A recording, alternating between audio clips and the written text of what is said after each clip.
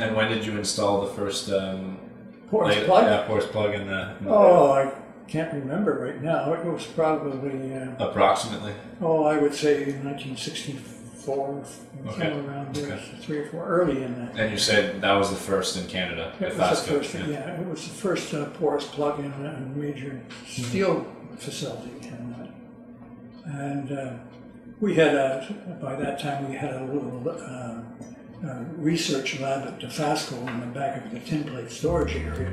And we had an induction furnace there so we could make small pots of liquid steel and uh, put small porous plugs in the bottom and bubble argon up through it and see what the effect would be before we put them in ladles of 100 tons or more of steel.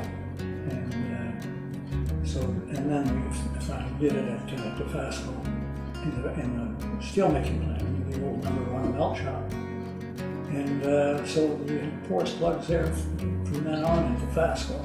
And it worked out as a good uh, uh, way of stirring molten steel. Uh, because yeah, when you pour the steel in the ladle, but quite often it would be segregation and things like that. Segregation of chemistry and segregation of temperature. Both were critical to the quality of the steel. So it was a good uh,